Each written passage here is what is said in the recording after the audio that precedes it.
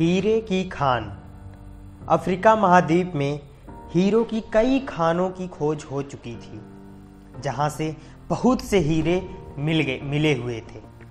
वहाँ के एक गाँव में रहने वाला किसान अक्सर उन लोगों की कहानियाँ सुना करता था, जिन्होंने हीरो की खान खोजकर अच्छे पैसे कमाए और अमीर बन गए। वह भी हीरो की खान खोजकर अमीर बनना चाहता था। एक दिन अमीर बनने के सपने को साकार करने के लिए उसने अपना खेत बेच दिया और हीरो की खान की खोज में निकल पड़ा। अफ्रीका के लगभग सभी जगहों पर उसने छान मारा। उसके बाद भी उसे हीरो का कुछ भी अता पता नहीं चला। समय गुजरने के साथ उसका मनोबल धीरे धीरे गिरने लगा। उसने अपना अमीर बनने का सपना टूटता दिखाई देने लगा। वह इतना हताश हो गया कि उसके जाने, जीने की तमन्ना ही समाप्त हो गई। और एक दिन उसने नदी में कूदकर अपनी जान दे दी। इस दौरान दूसरा किसान, जिसने पहले किसान से उसका खेत खरीदा था, एक दिन उसी खेत के मध्य बहती छोटी नदी पर गया। सहसा उसे नदी के पानी में से इंद्रधनुषी प्रकाश फूटता दिखाई पड़ा।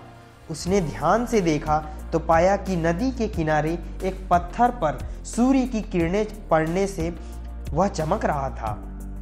किसान ने झुककर वह पत्थर उठा लिया और घर ले आया। वह एक खूबसूरत पत्थर था।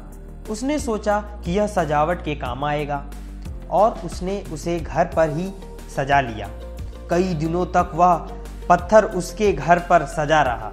एक दिन उसके घर उसका मित्र आया। उस, उसने जब वह पत्थर देखा तो वह हैरान रह गया। उसने पूछा, मित्र, तुम इस पत्थर की कीमत जानते हो? किसान ने जवाब दिया, नहीं मित्र।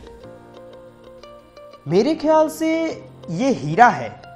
शायद अब तक खोजे गए हीरो में से सबसे बड़ा हीरा किसान के मित्र ने बोला, किसान के लिए इस बात पर यकीन करना थोड़ा मुश्किल था। उसने अपने मित्र को बताया कि उसे यह पत्थर अपने खेत की नदी के किनारे मिला है। वहाँ ऐसे और भी पत्थर हो सकते हैं। दोनों खेत पहुँचे और वहाँ से कुछ पत्थर नमूने के तौर पर चुन लिए, फिर उन्हें जाँच के लिए भेज दिया। जब जाँच रिपोर्ट आई तो किसान के मित्र की बात सच निकली। वह पत्थर हीरे ही थे। उस खेत के हीरो का भंडार था। वह उस समय तक खोजी गई सबसे कीमती हीरे की खादान थी। उसका खादान का नाम किम बर्ले डायमंड माइंस है। दूसरा किसान उस खादान के वजह से माला माल हो गया।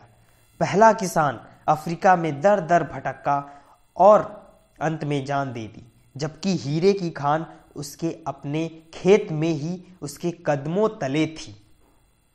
तो दोस्तों, इससे हमें यह सीख मिलती है कि हीरे पहले किसान के कदमों तले ही थे, लेकिन वह उन्हें पहचान नहीं पाया और उनकी खोज में भटकता रहा। ठीक वैसे ही हम भी सफलता प्राप्ति के लिए अच्छे अवसरों की तलाश में भटकते रहते हैं। हम उन अवसरों को पहचान ही नहीं पाते या पहचान कर भी महत्व नहीं देते जो हमारे आसपास ही छुपे रहते हैं। जीवन में सफल होना है तो आवश्यकता है कि बुद्धिमानी और परख से उन अवसरों को पहचानने की और धैर्य से कार्य करने की सफलता निश्चित करें। धन्यवाद।